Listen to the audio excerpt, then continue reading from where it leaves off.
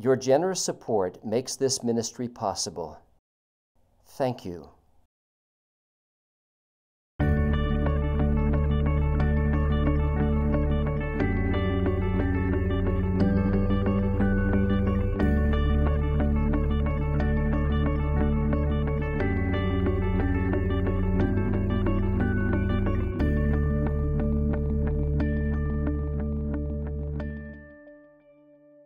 Father, we've come together today. We're studying this important passage in the New Testament on the Lord's Supper. We do ask that you would guide us and teach us. Uh, we pray that we would, uh, as a result of this, uh, be better worshipers and uh, see the importance of uh, gathering together to remember the Lord Jesus on a regular basis. Guide us now and do teach us in our time together today. In Jesus' name, amen. okay, we were looking at the, uh, at, the, at the passage in 1 Corinthians chapter 11 where Paul begins in the second half of his chapter talking about the eighth problem that he wants to deal with at, at Corinth, and that is the teaching on the Lord's Supper. And he says that uh, when you come together, uh, you do not come together for the better, but for the worse. And we saw last class that there were, uh, there were three things that were taking place at the Lord's Supper. There were divisions among them. Divisions between the haves and the have-nots. This is not the divisions of chapter 3. This is the divisions of those who would come on this occasion, when they would have a, a, a meal together, and they would bring their own food, and there were some that were, were, were feasting because they brought the food, and then they were not sharing it with others that did not have. So that was one problem. Secondly, some of them were overindulging. They were getting drunk. They were treating it just as a, a banquet and overindulging.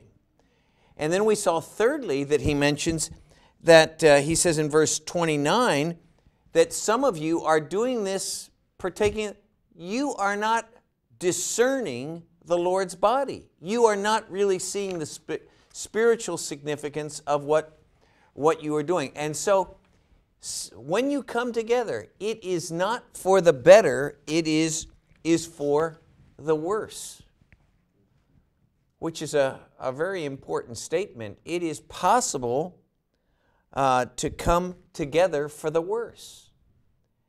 And for some people, it really would be better if they did not go to church rather than go to church the way they are going. When, first of all, the, the purpose of the, of the meeting is lost sight of, Paul says, it would be better if you, if you did not come.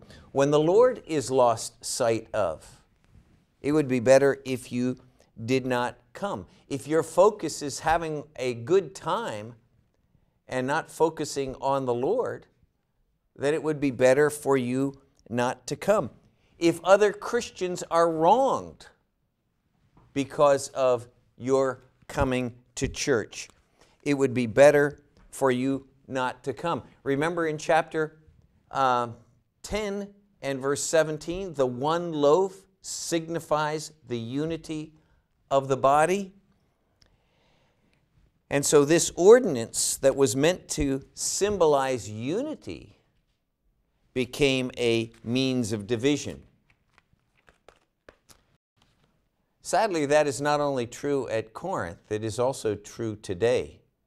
When I was young, they said in the 1950s that the, uh, that the 11th, 11 o'clock hour on Sunday morning was the most segre segregated hour in the week. And what you had there was a, a strong division in the church because of the denial of the unity that we have in the body of Christ. There were many white churches where, where blacks were not, were not accepted. Now, that has changed a lot today, but we still have a divided church. It's, it's, it's very different areas, though. Uh, our churches are divided uh, according to music. Uh, you have different kinds of music styles. You have uh, singles churches. You have young married churches. You have middle aged family churches. You have old folks churches. You have traditional services and contemporary services. And uh, the church divides up in all of these kinds of things. Now, if our churches are just social clubs, then it would be better for us to just shut our doors and stop meeting. Paul says, You come together, together not for the better, but for the worse.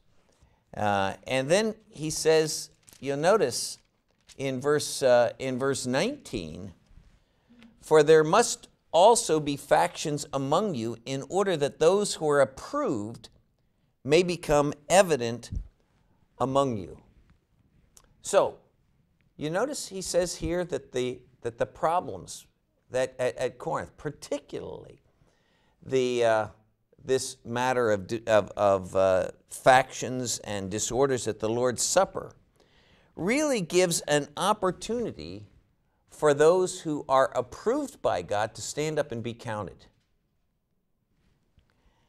And so, what verse 19 is saying that, that uh, even when you have a disorder in the church like we have at Corinth, God uses, God uses these wrong things for his good end.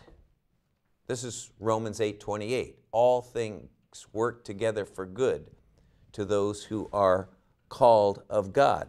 God is able to take bad things and, and, and turn them around. And one of the things that you have here is that when you have situations like that, those who are godly, mature, spiritual Christians have a, uh, a an opportunity to, uh, to stand up and be manifested. So um, we have the disorders here. In verse, uh, in verse 22, uh, we have the corrective.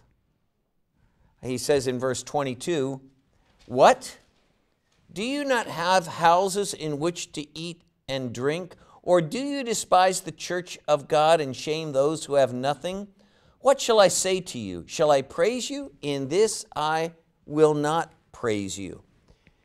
Paul says, uh, if this is what's going to happen because you have a, a, uh, a communal meal, eat at home. Eat at home.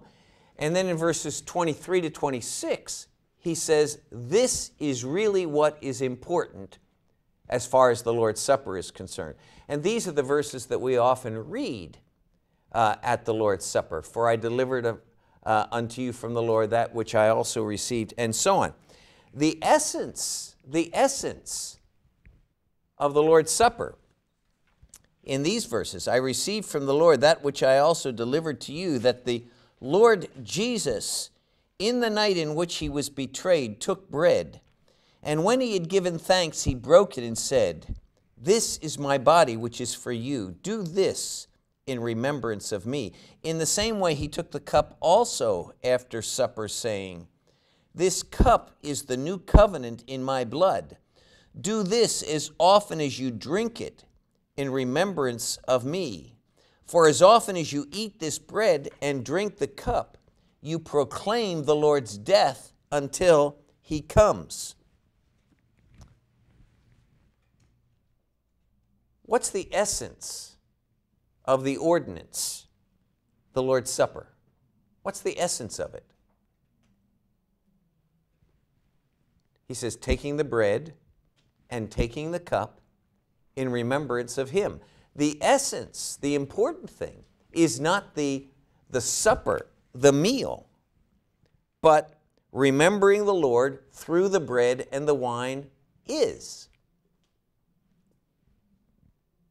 Now, it's because of what Paul says here that we do not celebrate the Lord's Supper the way the early church did, with a full, the full meal.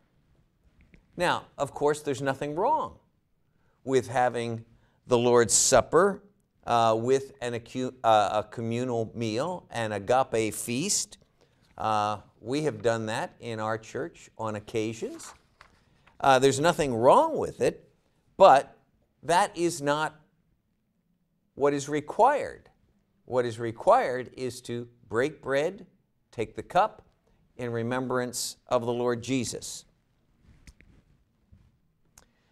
Now, I want to look at verses 23 to 26, or 23 and actually the rest of the chapter, because we really have some very important teaching in these verses on the significance of the Lord's Supper. What is the Lord's Supper? Well, first of all, the Lord's Supper is uh, an ordinance that was instituted by the Lord Jesus. You know what I mean by an ordinance? There are two ordinances of the church baptism and the Lord's Supper. And uh, there are three things that are required for an ordinance of the church.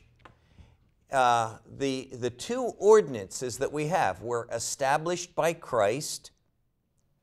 That's the first thing. They were uh, practiced by the church, and they are taught in the epistles. Established by Christ, uh, practiced by the church, and taught in the epistles. There are only two ordinances that fit those requirements baptism and the Lord's Supper. Baptism was commanded by Christ in the Great Commission. It was practiced by the church starting in Acts 2 at the day of Pentecost. And it is taught about in the, explained in the epistles. Same way with the Lord's Supper. Commanded by Christ, practiced by the church. Uh, uh, why did the church observe the Lord's Supper? Christ told us to. And so in Acts 2.42, they met together for the uh, apostles' teaching and fellowship, the breaking of bread, and prayer. You have those four things which are, which are mentioned there, one of which was the breaking of bread. Uh, in Acts 20 and verse 7, it says that the disciples came together on the first day of the week to break bread. And so the reason that they came together was to celebrate the Lord's Supper. Uh, the primary reason was not to teach or to pray or for fellowship. It wasn't even to hear the Apostle Paul. He was a great preacher. But it says they gathered to break bread. And so it was practiced by the church, it was explained in the epistles. And that's what we have here in 1 Corinthians chapter 11. So, it is one of the two ordinances of the church. It was instituted by Christ. Verse 23 says, I received from the Lord that which I also delivered to you. Now, when Paul says, I received this from the Lord, I think some people have, have misinterpreted what he is saying, and they have thought that he was saying that he got a direct revelation of this from the Lord. Uh, the word received and the word delivered were common words, they were technical terms used in Judaism for uh, receiving, uh, teaching, and passing it on. Uh, it was used for uh, um, taking the, the authorized traditions of the church. Remember, we talked about tradition, uh, the traditions of the apostles, the authorized teaching of the church, and receiving them and passing them on. So when he says, We have received this from the Lord, It could mean that the Lord gave this teaching to the apostles. Paul received it from the Lord ultimately through the means of the apostles. You think Paul, whenever he was with the apostles, asked them about what the Lord did or said? I think so. And so he says, uh, uh, what, his teach, what he is teaching now about the Lord's Supper ultimately goes back to Christ. So when he says, I received from the Lord, this is something that was instituted by Christ in the upper room on the night before the crucifixion, the night in which he was betrayed. Now, what is your attitude toward the Lord's Supper? Do you put an emphasis on it? Do you look at the Lord's Supper as something which is really important? Um, why do we celebrate the Lord's Supper? Yes. To remember what Christ did. Yeah, and, but why do we do it this way? To remember what Christ did? Why do we do it this way? Very simple. He told us to, didn't he? This do in remembrance of me. Uh, why do we break bread? This do in remembrance of me. Why do we take the cup? This do in remembrance of me. Verses 24 and 25. So, uh, Christ told us to. I find it very strange that, that uh, when Christ told us to do something like this, so many Christians put such little emphasis on it. Uh, we know it is something that pleases Him. The Lord said in John 4, the Lord is seeking such to worship Him. We know that it is His will, He has commanded us. Um, how often are we to do it? There, there are, are uh, a couple of things to notice. When he said in verses 24 and 25, this do or do this, he uses the present tense imperative. Now, when you have a command, present tense in Greek doesn't have anything to do with time. It has to do with uh, a a repeated kind of action. It is to be a habitual kind of action, a characteristic kind of thing. So we're to do this repeatedly. Uh, not only does it say to do this, meaning do it repeatedly, but remember the Acts 20 and verse 10, 7 passage?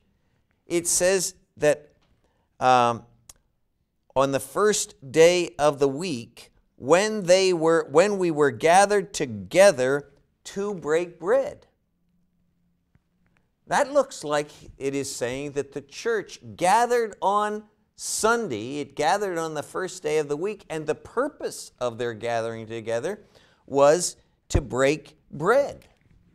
That was the purpose of their gathering. And did you notice what Paul says in verse 20 here? He says, Therefore, because of the disorders. When you meet together, it is not to eat the Lord's Supper.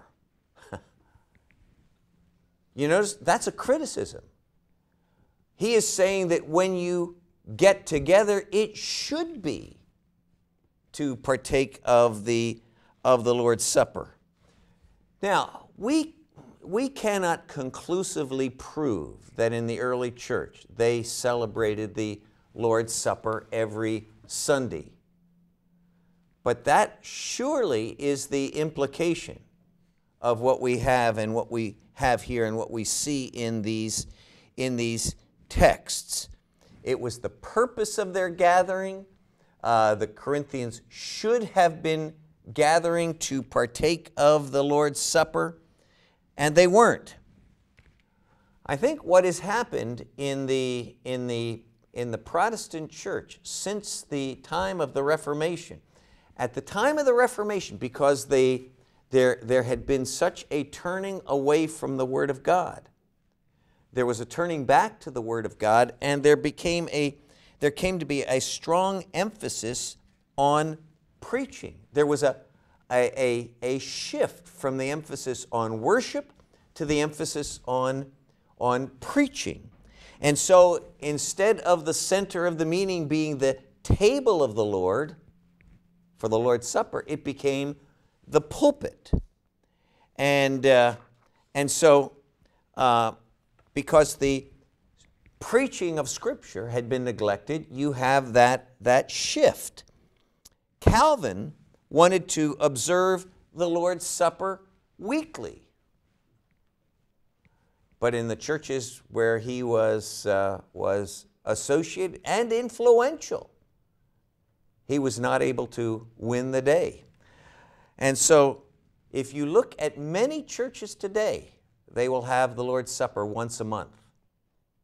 Some churches have the Lord's Supper once a quarter, that's once every three months.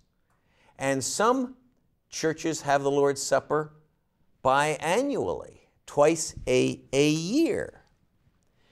And so, if you look at, at what at, at the worship service of, of churches today, many evangelical churches, what is it? It's a preaching service, isn't it? Uh, it's called a worship service, but it is really a, a preaching service. If you ask, where's the worship? You'll get, well, we worship in, in, our, in our singing. and that is, uh, that is the center and focus of the worship. In the New Testament, the center and focus of worship was at the Lord's Supper. And uh, it, would, it, would, it would seem very strongly that that, that that worship at the Lord's Supper was, was practiced weekly. And I think that uh, there should be much more emphasis on worship and much more emphasis on the Lord's Supper uh, today than we have in, in, many, in many churches. So, uh, the, the importance of the, the Lord's Supper. Now, I want to look specifically at the meaning of the Lord's Supper, and that will get into the answer of your, your question as to what this means. He says in verse 23 that the Lord Jesus in the night in which he was betrayed, took bread, and when he had given thanks, verse 24. That word thanks in, uh, in Greek is the word Eucharisteo, Eucharist, Eucharisteo. And uh, that is why some churches refer to the Lord's Supper as the Eucharist. Some call it the Eucharist, some call it communion, some call it the breaking of bread, some refer to the Lord's Supper. These are all different names, but the word Eucharist comes from that word to give thanks, because that's what we, we do at the Lord's Supper. We give thanks.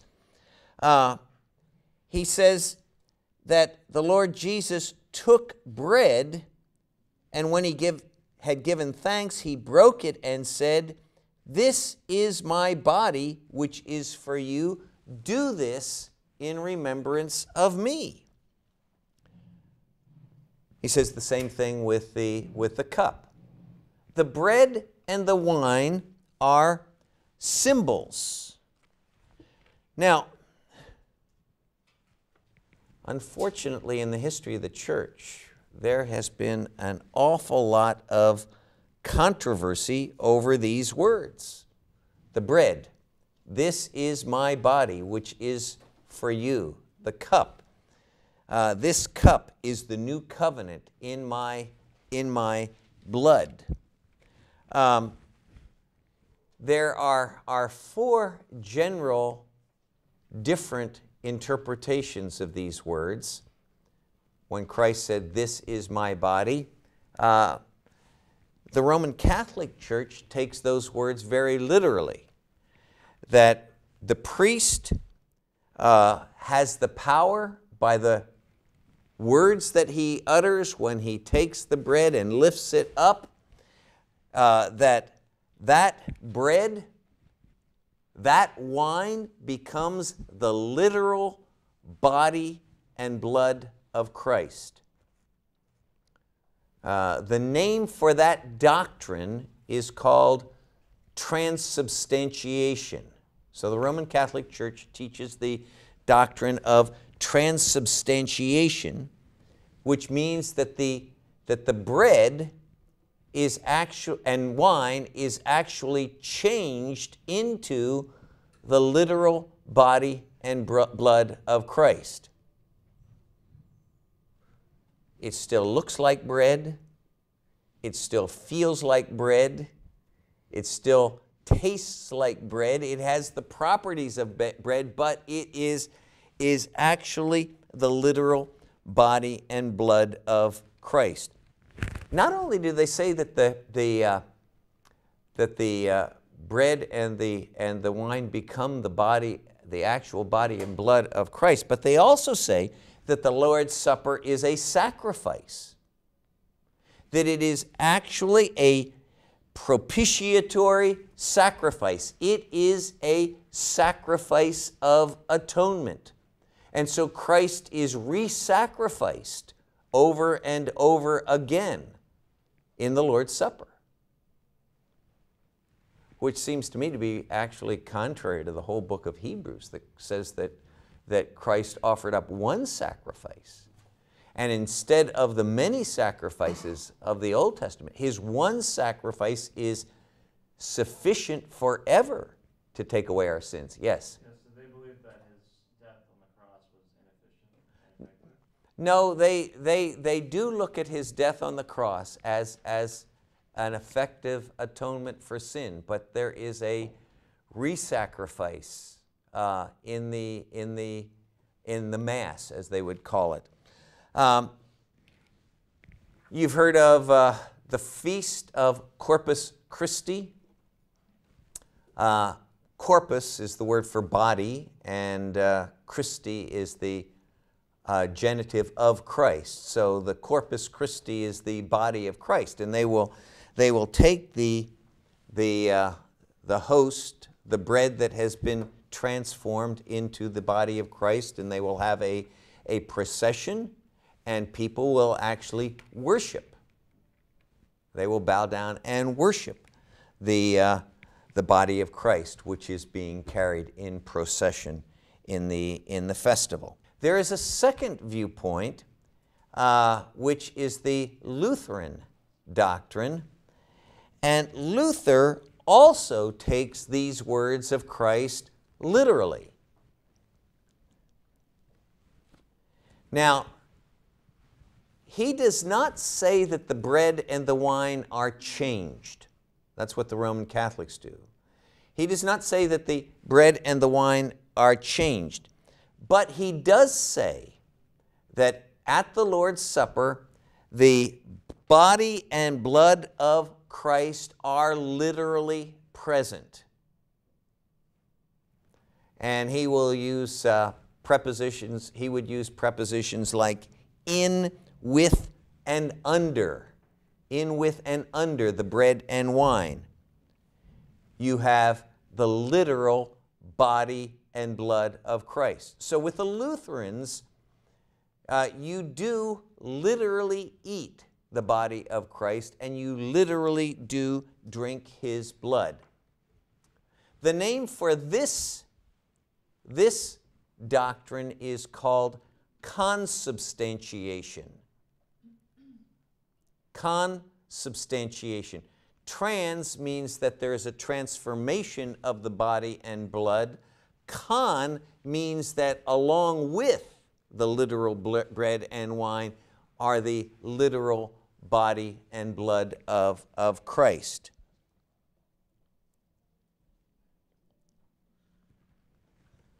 The third interpretation is the memorial view.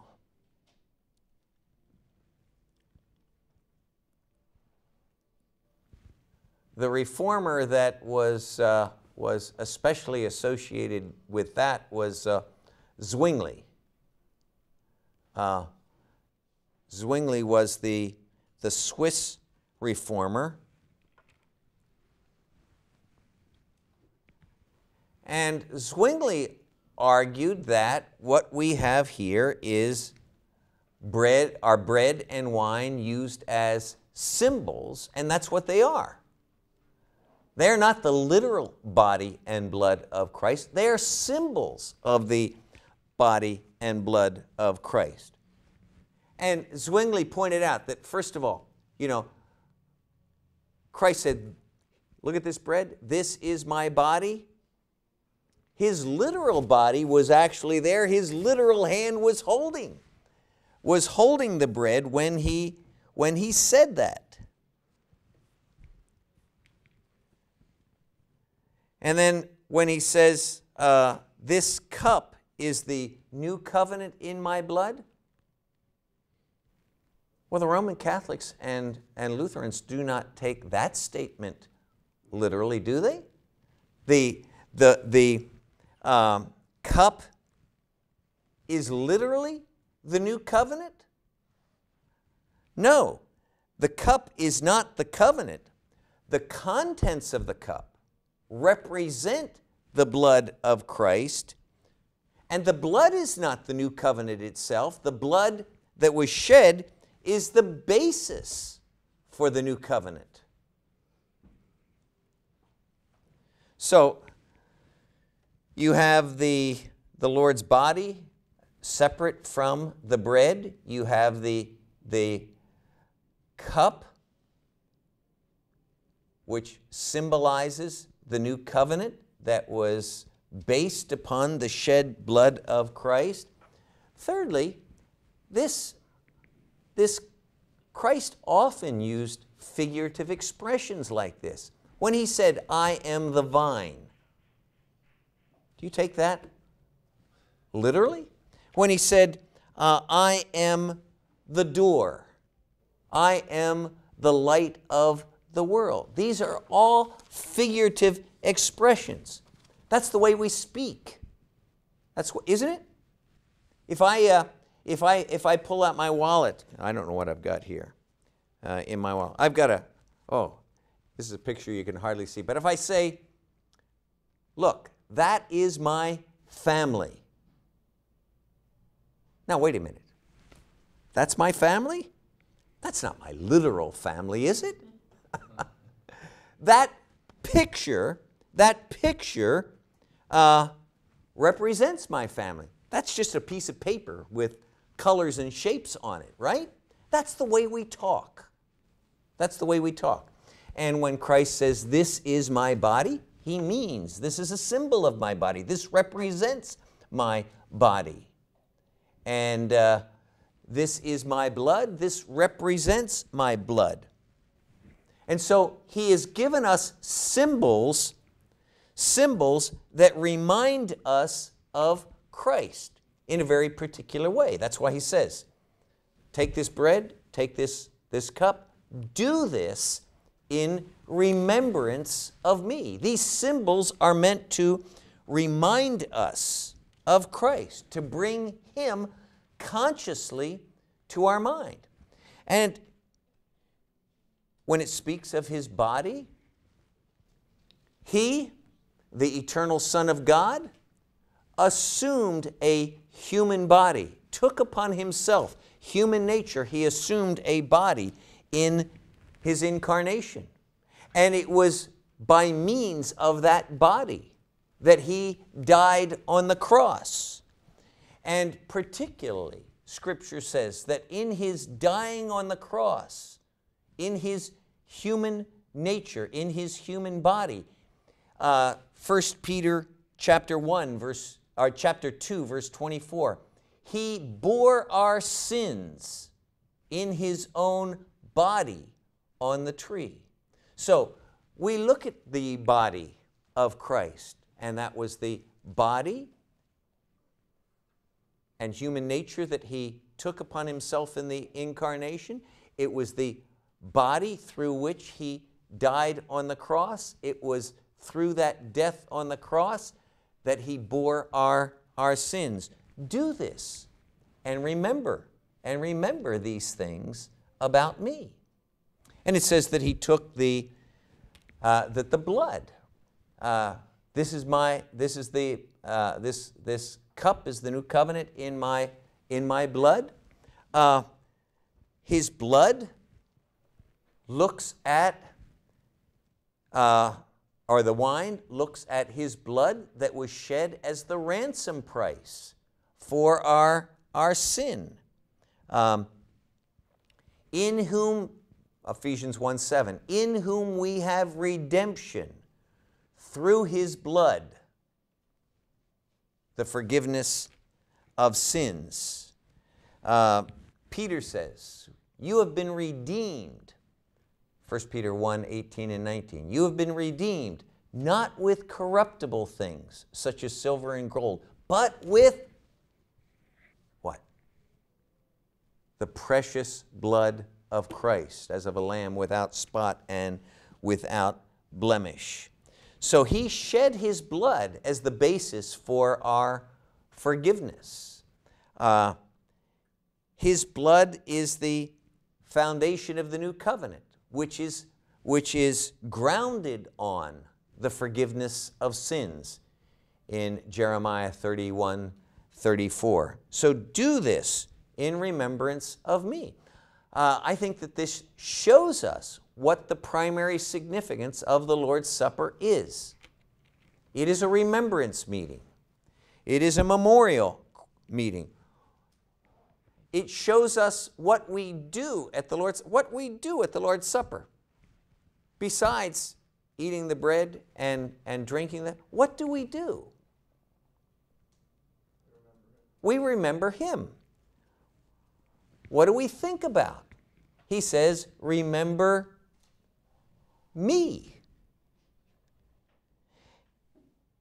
And when we think about Christ, we can remember, we can remember many things about him, but the, the symbols point us to the fact that we are to remember him in a very specific, in a very specific way.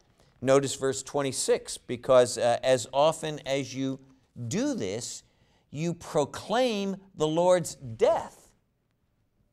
You proclaim his death until he, he comes. So,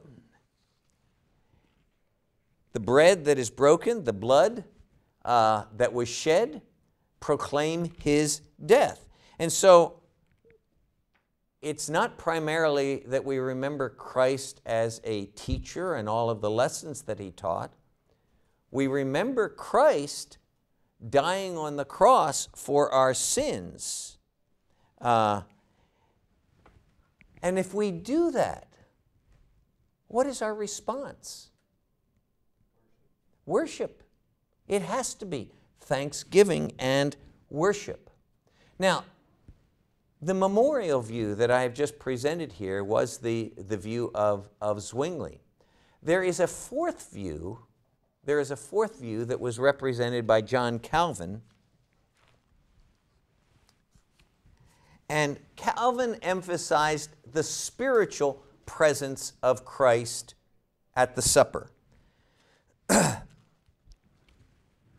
so, at the Lord's Supper, Christ is spiritually present, not literally as the Roman Catholics and the Lutherans would hold it, but Christ is spiritually present and we and we feed upon him.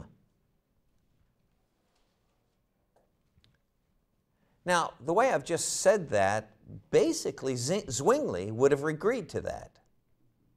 And, and anybody who holds the memorial view would agree to that. Calvin was trying to say more. He was trying to say that there was a special spiritual presence of Christ in the Lord's Supper that is not there on other occasions.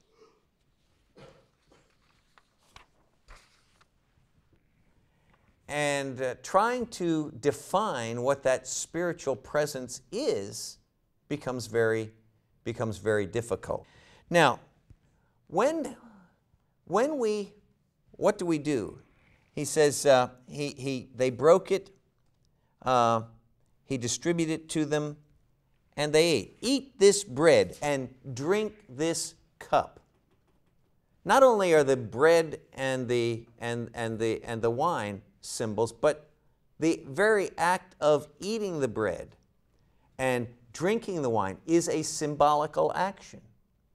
It is an, uh, a, a symbol of our faith in Christ. It is a symbol that we are, we are, are taking Christ and uh, uh, we are, are feeding upon Him.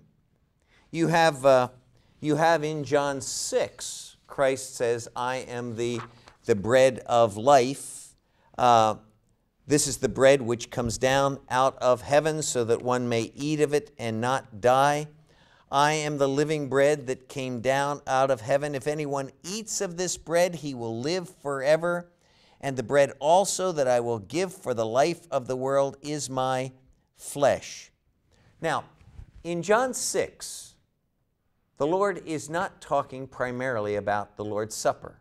He is using figurative language, and so that he is saying that He is the bread of life. If we take this bread, if we eat it, uh, and that eating of the bread is a symbol of our faith in Christ. And we appropriate Christ by faith, just as we, as, as we take our nourishment from bread by eating it.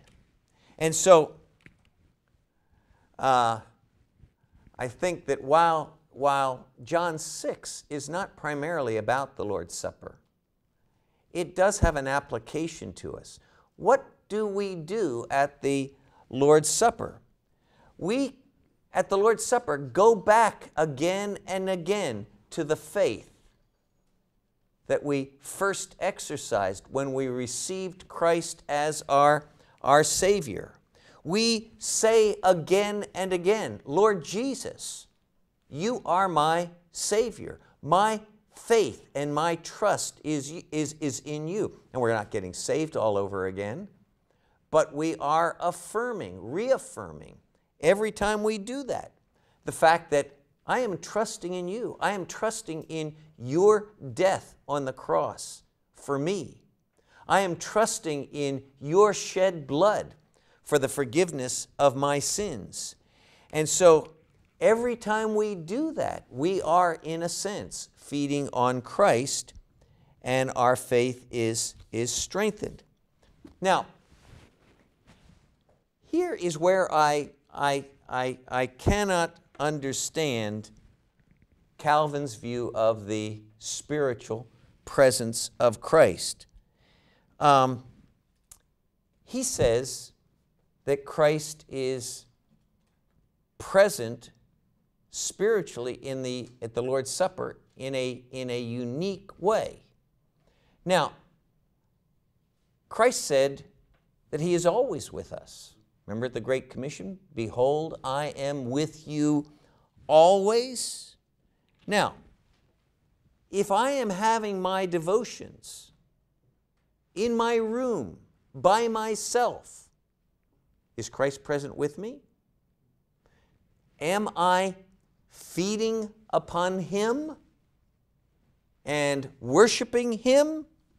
Uh, how is the Lord's Supper different as far as the presence of Christ? And that's where I find, find the, uh, the discussion uh, among the Reformed view, the, those who hold to the Reform, where I find it fuzzy.